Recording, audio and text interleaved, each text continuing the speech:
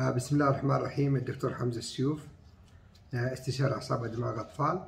آه، اليوم بالفيديو القصير حجاوب على أسئلة كثير مهمة بتأتيني من الأهالي. وأنا كتبتهم صراحة حتى تكون الرسالة واضحة. ما هي أهم الأسئلة من الأهل خاصة عن الأدوية؟ أول سؤال هل تسبب هذه الأدوية الإدمان؟ دائما نحكي هاي الأدوية لا تسبب الإدمان أبدا. وزي ما طلعنا فيها ننزل فيها والأطفال اللي بيشفوا أو نغير لهم الدواء نسحب الدواء تدريجيا ولكن أي دواء يذهب إلى الجهاز المركزي العصبي يجب أن يقوم نقوم بسحبه تدريجيا ولا ولا يجب إيقافه فجأة. إدمان ما تسبب الإدمان السحب يكون تدريجي. طيب ما هي الأعراض الجانبية المستقبلية؟ آه، من خلال ال 10 أو 15 سنة شغلنا مع التوحد واستخدام هاي الأدوية عادة ما بتسبب أي أعراض جانبية مستقبلية للأطفال بل بالعكس تحسن من ربط الدوائر الكهربائية مما يزيد التركيز ويزيد الفهم والاستيعاب والتواصل. هذا منشور بأبحاثنا ومنشور في أبحاث أخرى. دكتور هل سيبقى عليها كل عمره؟ طبعا لا. إحنا آه، نأمل من الله أنه الطفل يستجيب وتتحسن حالته بشدة في مدة أقلها سنة وأقصاها خمس سنين. آه، بعد خمس سنين من الدواء إحنا عادة بنحاول نسحب الأدوية آه، ويكون الطفل آه، وصل لمرحلة سواء الشفاء أو عدم الشفاء الكلي. ولكن بعد الخمس سنين إحنا ما بنحب نحط الطفل عليه أكثر من خمس سنين. يعني الطفل ما راح يبقى عليها بقية عمره.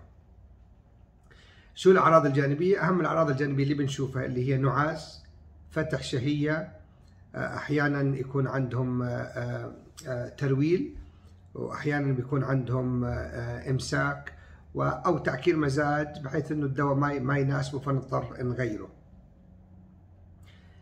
كم يستمر العلاج؟ إحنا قلنا مدة أقلها سنة وأقصاها خمس سنين من العلاج وقد تتخلل هذه الفترة تغيير دواء أو إضافة دواء أو تنزيل دواء أو تغيير دواء. وتذكروا دائما إنه بالمجمل العام 50 ل 60% يستجيبوا و40 ل 50% ما يستجيبوا على الادويه. آه، آه، هل إحنا نجرب بالادويه؟ طبعا هذا أنا سبق وجاوبته بفيديو نشرته امبارح نحن لا نجرب بالأدوية.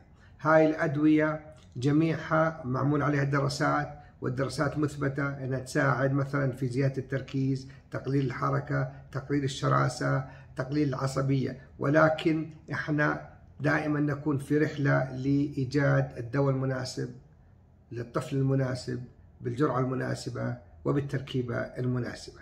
وهذا لا يعتبر تجريب لأنه هذا ينطبق المبدأ العام على جميع العلاجات في المجال الطبي وجميع التخصصات حتى في تخصصات القلب والحساسية. آه، يجب أن تجد الدواء المناسب للإنسان المناسب لأنه دائما وأبدا استجابة الناس على الأدوية تختلف من شخص لشخص. السلام عليكم.